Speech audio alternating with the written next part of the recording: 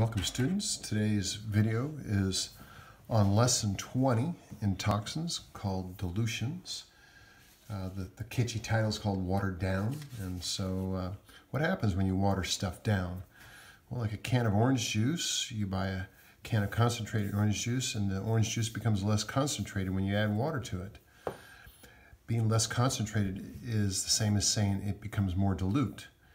And the mathematical relationship for that is right here, molarity 1, that first concentration or original concentration, times its original volume will equal the new molarity times the new volume. And most people just give the numbers like this, m1 times v1 equals m2 times v2. And so this is, again, our original molarity, our original volume, our final molarity, and our final volume. So uh, in the homework, or just before the homework on page 438, example 2, part C, it says this. Imagine you have 10 milliliters of 0.010 molar solution of sodium hydroxide. What is the concentration if you dilute the 0.010 molar solution by adding 90 milliliters of water? Well, there's a couple ways to do this problem. One is just sort of a um, a thought experiment. And that is if you add 90 to 10, so you take the original 10 and you add 90 to it, you now have 100 milliliters. And that's 10 times this volume. So if the volume is 10 times, you would expect the concentration to be one-tenth of what you started with. Um, those numbers are easy to work with, so maybe it's easy to see that. But uh, you may be given some unusual numbers that don't make it quite so easy to see, and that's where this formula is very powerful. So let me just show you how to use this formula to solve this problem. So our original molarity was 0.010 molar, and the original volume was 10 milliliters. And we want to know what will the new molarity be if we add 90 milliliters to the original 10, that is, we end up with 100 milliliters total.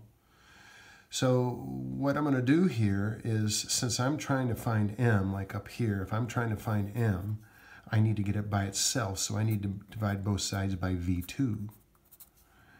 Okay, so I want to get m by itself, so I have to move these two underneath these two here.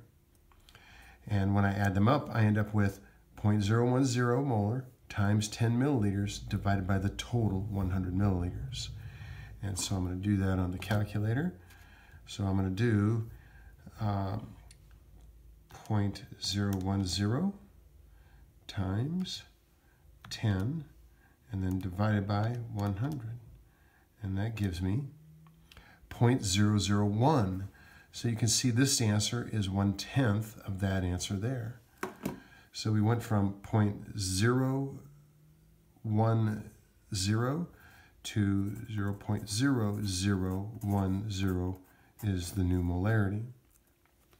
Okay, let's take a look at another one here. Uh, 200 milliliters of 0.25 molar hydrochloric acid has 300 milliliters of water added to it. What's the new concentration of the hydrochloric acid? Now this one's a little harder to see. Here we could easily see that uh, the volume was uh, 10 times larger from 10 to 100, so the molarity should have been 10 times smaller, which it was. This is one-tenth of this number up here. But that's a little hard to do in our heads here. So this one I'll go ahead and use our M1V1. M1 times V1 equals M2 times V2. And now I'll just plug in the numbers. So I'll call this the original. And it doesn't really matter which you put on which side, but uh, there you go. I'm going to have 200 milliliters here. Also, it doesn't matter if you use milliliters or liters as long as you have the same unit on both sides. So I can't have milliliters here and liters over here. It has to be the same on both sides. 0.25 is the molarity equals uh, the new molarity is what I'm looking for. And the new volume is 200 plus I added 300. So the new volume is 500 milliliters. So now I'm going to do 0.25 times 200. That's molarity, if you like, over 500 milliliters. The milliliters will cancel, leaving us with our molarity, 0.25 times 200 divided by 500. And that gives me 0.1. So I ended up with 0.1 molar is the concentration. So I start at 0.25 and then up put 0.1, but now I have 500 milliliters of this 0.1. Okay, the next one here, 125 milliliters of 0.025 molar nitric acid is diluted with enough water to make 100 milliliters total solution. So here we're told what the final total is.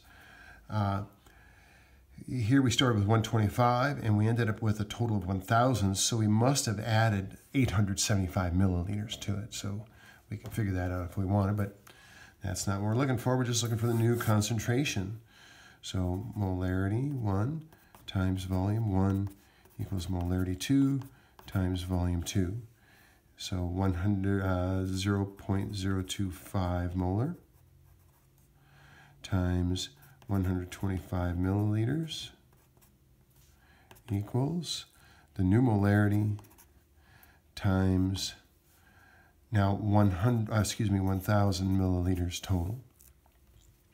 So that's going to give me 0.025 times 125 divided by 1,000. And of course the milliliters will cancel, leaving us with the molarity. And 0.025 times 125 divided by 1,000 equals 0.01325, 0.03125.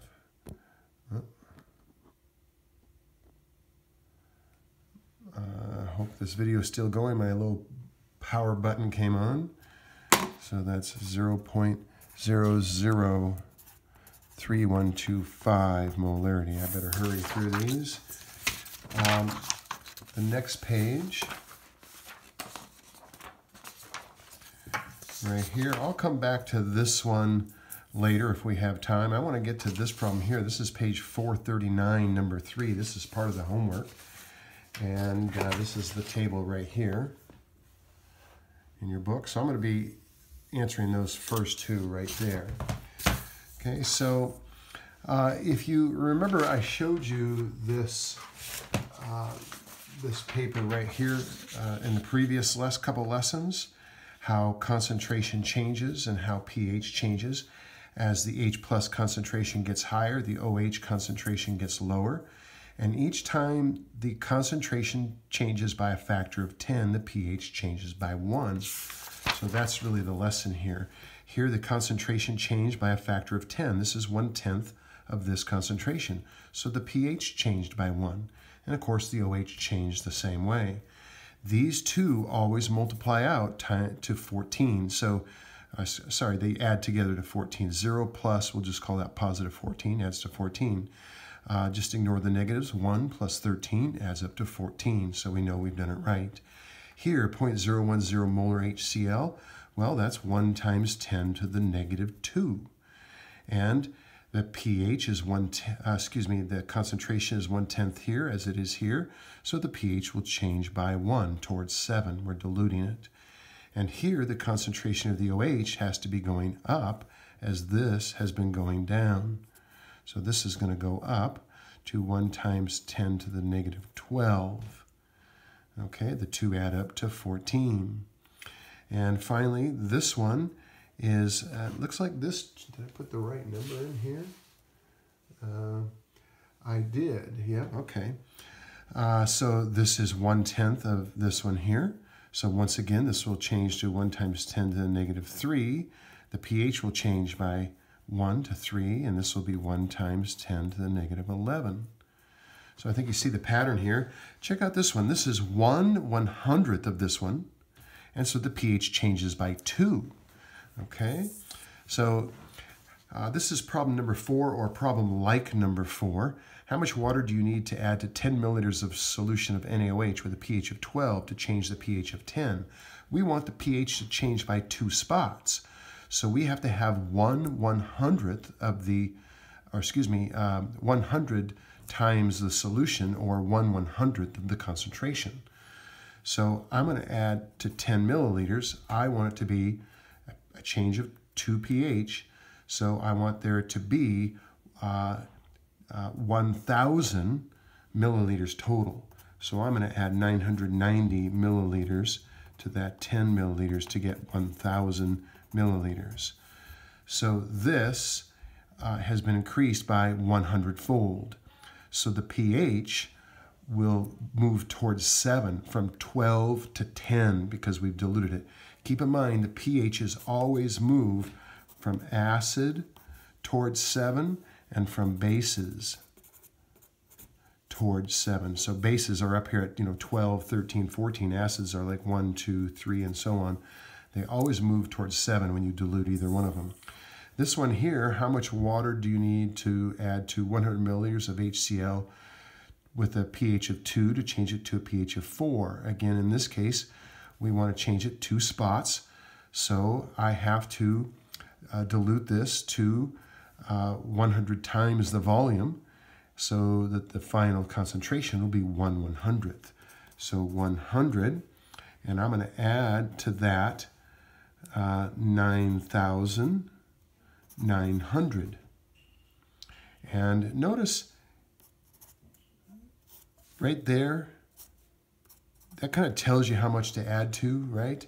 When I add that, that's going to change it to 10,000. 10,000.